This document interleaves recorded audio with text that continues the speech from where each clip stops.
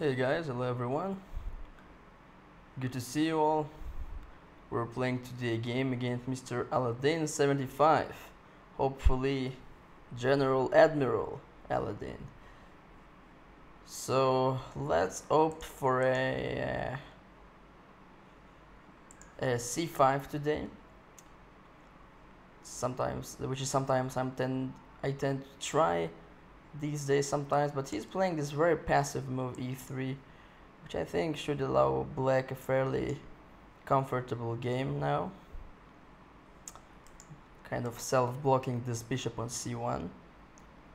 I'm never afraid of d takes c5 because at the very least I have queen a5 check, uh, regaining this pawn. b3 Wow, okay. It's a very uncommon move in uh, fianchettoing this bishop when I have the bishop on g7, eyeballing his rook on, on a1 is definitely an un, uncommon thing to do. So I'm thinking just to take on d4, or maybe I should even wait for him to play bishop b2. Let's take on d4, I'm kind of curious. So he actually pre-moved knight takes d4, fine. This means that he uh, lost at least some control over over his center. So the obvious move would be to castle, but it also makes sense to try and open up the center right away with a move like d5 or even e5 in, in some positions. But the, I don't like the move castling so much just because it, it gives him some time to develop his own pieces. So d5 is it's fairly tempting.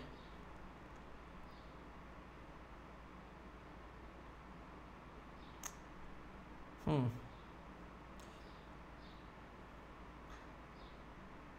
Let's try d5. Let's see what what happens.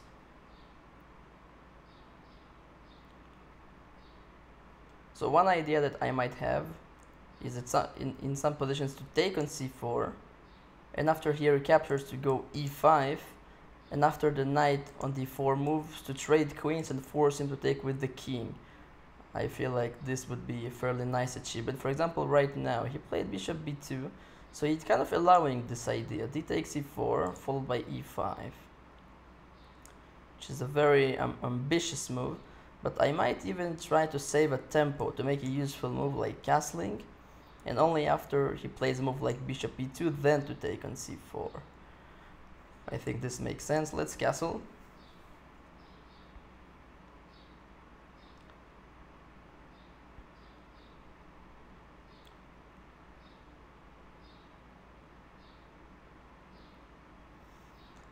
Now White is a little bit behind in the development of his king side. If he's now not playing bishop e2, yes, um, for example, he just played knight c3, so this idea of taking on c4 followed by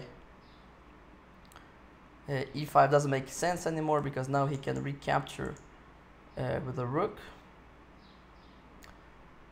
But once again, his king side is very much underdeveloped, so what I would really like to do is to play e5 and after the knight moves to go d4 and try to open very let's say very aggressively open up the center in order to be able to attack his uncastled king.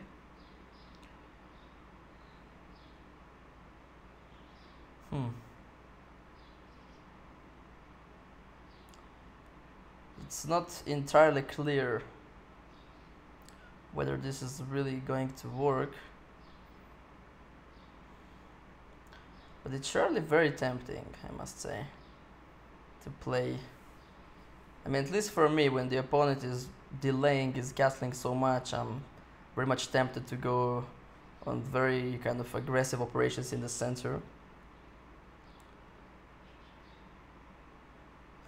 The other options are just to continue with moves like knight 6, but then he, then he might be might be okay just taking on c6 and and playing this kind of position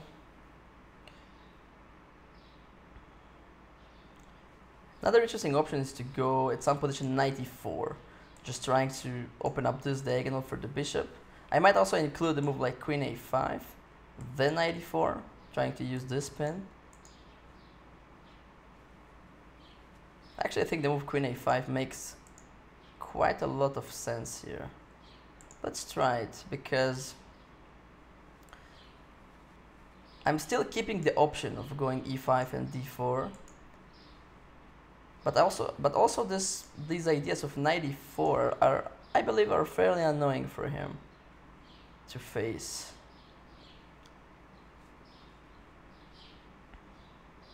And I also might combine the ideas of going knight e4 and the idea is to go e5, d4 very aggressively, like I mentioned before. For example, for example now, now going e5 and d4 might be even stronger than it was before because now I'm slightly better developed. I already got my queen out, which means that the d8 square is vacated for my rook, which is definitely a good sign for me. I'm just too much tempted to do this.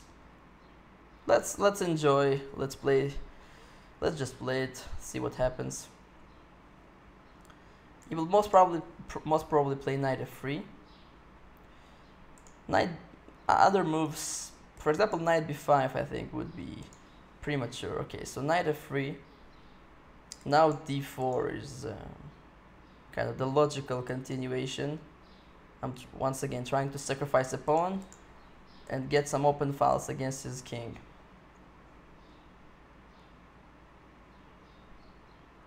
And I don't think, I mean, he can try to kind of deny my presence. Maybe not to. take. maybe this is also the best move right now. which is not to take on d4. Just move away the knight from c3, offering the exchange of queens. This is actually one drawback of not uh, playing this idea of e5 and d4 immediately. Is the fact uh, that now with my queen and his queen being uh, on the same diagonal, whenever he moves his knight from c3, I will be almost forced to exchange queens. And it's not that exchanging queens is bad for black in any way, but it, it kind of take away, takes away at least uh, some of, of black's um, potential initiative here. So he plays knight d5. Once again, I, I feel like I have to take. Yeah, so now we have arrived at this position, which is, I think, still good for black. I mean, I, I, I did gain some space in, in the last couple of moves.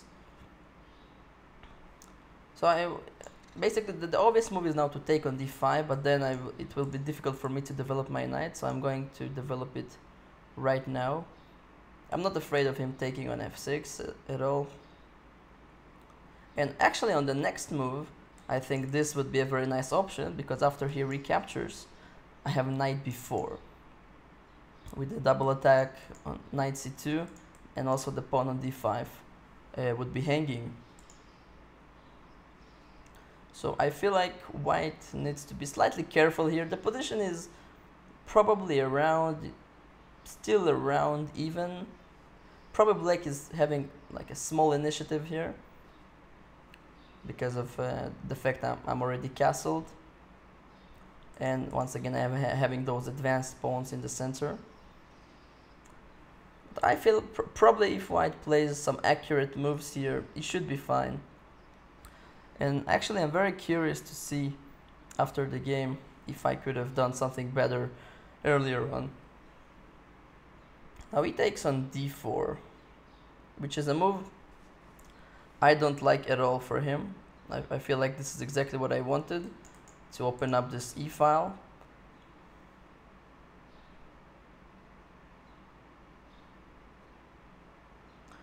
I might even take on d5 and play this knight b4 move that I wanted to do earlier on. I think e takes d4 is almost a blunder here. It, I have so much, so many good options here actually. I can also take on d5 and then take right there and leave this pawn on d5 slightly weak.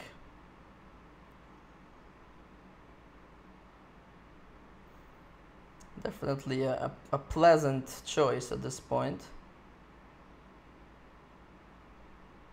Let's take on d5. I feel like this is the most aggressive way to continue. And now both knight b4 and knight takes d4 I think should be very good for me. I feel like knight b4 is the move which is the more, let's call it, um, the more difficult for my opponent to face. So I think I'll do it's the more complicated move, definitely, but let's do it. I, I want to see how he reacts to this. Knight takes d4 would be, I think, just lead to a good position for black. Knight b4 kind of gives him this little question. How exactly are you going to deal with this knight c2 threat? One way is just to sacrifice this rook on a1, for example, to play d takes e5. Try to go for a lot of pawns versus, uh, versus the exchange. But I think this would be very good for white if his king would, was already castled. And then he might have two strong uh, pawns in the center, which might have some chances to advance and to create troubles. But because his king will be forced to stay in the center, my rooks will very quickly come into the central files and they will be ready to launch an attack against him. So um, the, if he doesn't want to sacrifice anything, he might play a rook c1 but then, at the very least, I have this tempo taking another pawn on a2. But also, the pawn on d5 is still hanging, so I can always capture it. So yeah, he, he decides to go for e5, which I think is probably the right thing to do. I mean, it's uh, then just to suffer in a worse position. So once again, th these two pawns definitely are um, something to be reckoned with. But once again, because his king is badly stuck on d1, um, I'm, I'm feeling fairly comfortable in this situation. But I need very quickly to, to start attacking these pawns before he manages to consolidate his position. One move which comes to mind is rook d8, just forcing the move to advance. And the more advanced these pawns get, they might potentially be weaker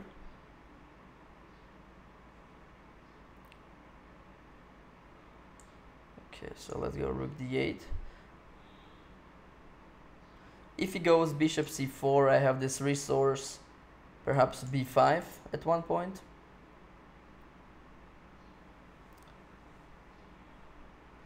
So it's actually a fairly interesting position. I mean, it's it's. Um, I must say it's not obvious that black is having uh, the advantage here I think the next couple of moves are going to be very critical to the assessment of the position. If white will be able to, let's say, uh, repel my my attacks or my attacking attempts, then it, might be in actually in a very good position.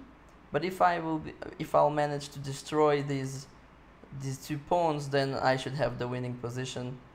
Once again, very much thanks to the fact that his king is badly stuck right there. So it took some time to play this move, which I, I thought was actually pretty much forced. So now I have this resource of breaking his center with f6 at any at, some at some moment, but I I feel like I should develop first. Maybe bishop e6, maybe bishop f5.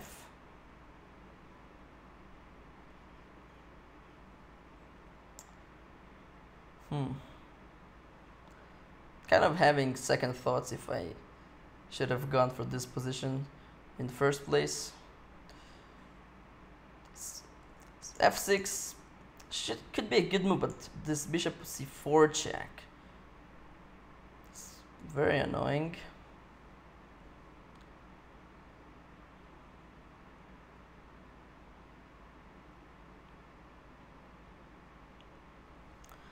I have to develop. So bishop e6 or bishop f5. I, I feel like these are my only serious options. Let's try bishop. Let's uh, let's try bishop f5. So maybe my idea would be now to land some piece on the c2 square. Maybe rook d8 was even premature. I think I should have played bishop f5 straight away.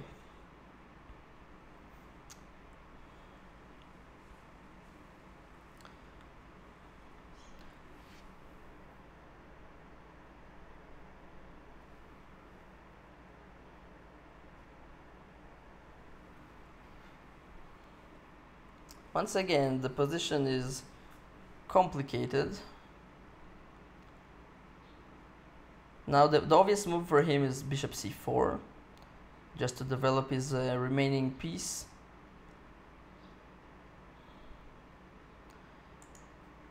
I also, there is one more resource here for me which might help me if I ever feel like I'm getting into troubles, is to take on d6, force him to take back and then take his bishop on a1, kind of trading off pieces this way, and hoping to recapture the pawn on d6 later on. I'm probably not going to do this at this position, but th that's, that's a resource which is kind of good to keep in mind.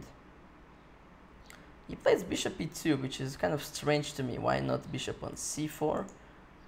Seems to me like just obviously a more active move. Now I have some time to develop my rook finally. g4, so this is the big deal. I don't think this is a big deal at all. I have a check right here if I want, which gains a tempo. I think that's a very good check because he cannot yes and now I have this idea to go rook c1 so I just need to move my bishop away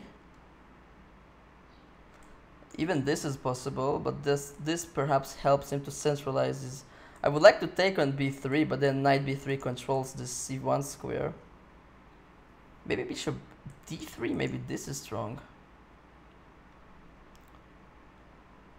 then I will be actually two exchanges up because I will collect his rook in the corner. Huh.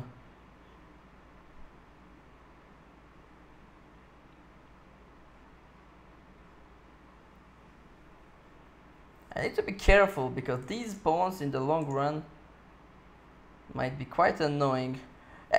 Actually, even this is possible. Bishop b1 just going for the pawn on a2, but I'm so low on time. I'm now below. I'm, I am now below one minute, so I, I I just have to, I have to take a decision intuitively. So bishop e4, I just don't like the fact that he can take. Uh, wow, that's that's a comp that's that's that's a tough choice right there. I'm really uncertain.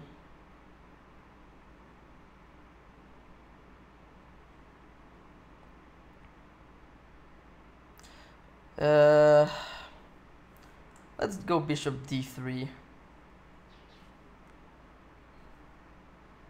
I'm not really sure why exactly d3, but at least if he takes on d3, it's not helping him to centralize his knight like when he takes on e4. Even though the disadvantage of the move bishop d3 that it is less forcing, so he is now not forced to take on d3, even though I still think it's actually the best move. And I, really hope he will take on d3 because then we're going to have a very unusual position where I have two exchanges up, basically two rooks for two minor pieces, but the position is still complicated because these two connected pawns in the center are going to have uh, are going to make quite a lot of troubles uh, for me.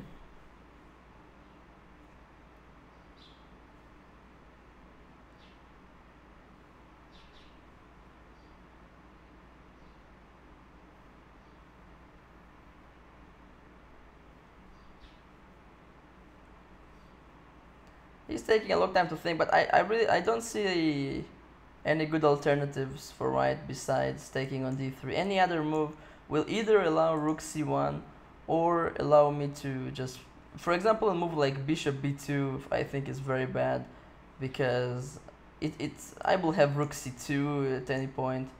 So it just goes back on d1 it's kind of offering the repetition first of all let's repeat the position once just in order to get 10 seconds on the clock. It's never a bad idea.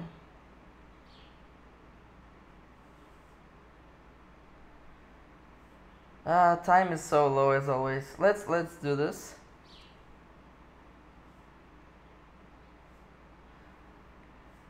So I, I feel like objectively black is better. So I'm I'm not going to accept the draw probably, but um, I'm so low on time. It's a tough decision whether to take the draw or not.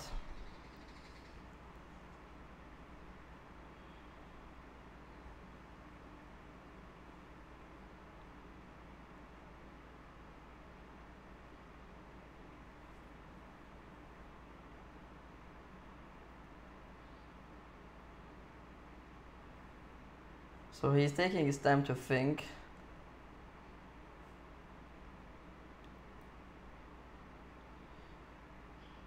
So if he if you if he if he will do king d1, I'll probably take on e2, play rook c2, go for active play, and um, I will obviously risk losing, but the purpose of uh, these videos is not to be very objective, but uh, mainly to make it educational. So yeah, now you see in front of you this very position I was talking about, uh, that I was hoping he will do quite uh, an amusing position.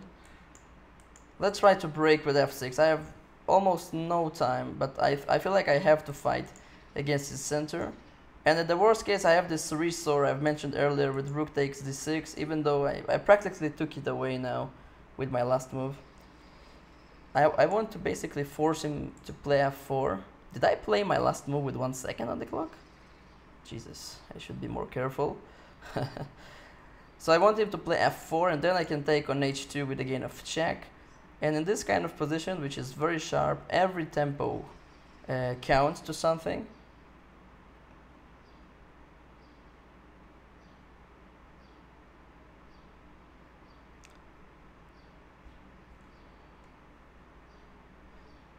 The main drawback for me here is the fact that I have so much less time. I don't have almost no I have almost no time to consider my my actions. He can actually take on f6, actually at this point.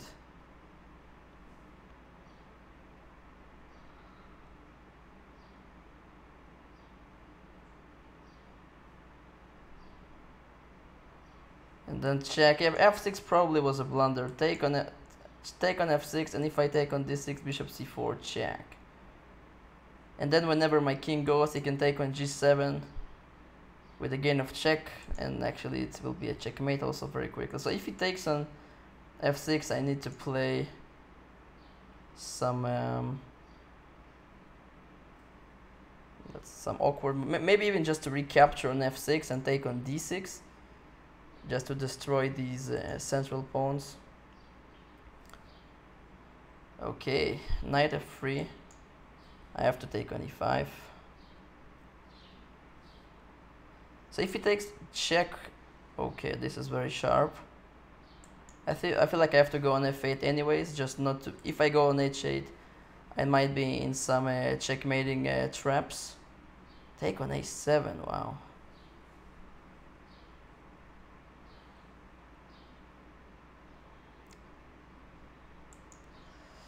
So he wanted to go knight g5. The, my last move is, is just aimed against that, nothing else basically. It's quite amazing that I have two exchanges up, but actually the initiative is is definitely uh, at white uh, disposal here. But at least he is low on time as well now. Oh no, d7, he just wins. I have no squares. Oh, that's, that's a checkmate. Oh my god. uh, that was a funny game, but uh, th these last couple of moves were, were, very critical. I want to see what the engine says. So the engine says after bishop c2, king e1, he says I should just accept the draw. And he said that in this position actually black is better, which I, I kind of have this feeling I, I'm better. Pre And yes, f6 was just a terrible blunder. Um, rook takes d6. Yeah, this very resource I was referring to.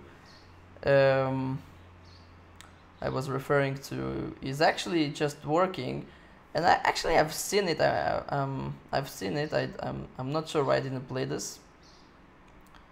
Um, yeah, f6 was a very bad blunder. Very bad blunder. and e4 is just just just a very I don't know uh, I, I, mean the time trouble obviously uh, had his uh, had his own rule just missing checkmate in one move and just said that after bishop f6 the position is about equal even though it means basically nothing I think all three results are very possible at this point. Um, I think also in the opening I had a very serious uh, initiative.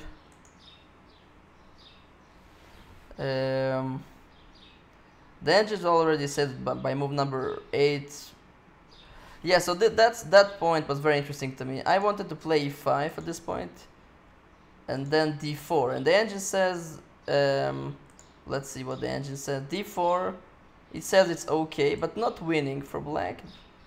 Now he says knight takes d4 and he say, and now he changes his mind and says black is actually already better after queen b6 and this move I didn't consider actually but it's very strong. The idea is to prepare rook d8 and to pressurize along the d file his pinned knight so probably e5 followed by d4 is is uh, already very good for black I should have actually trusted my intuition.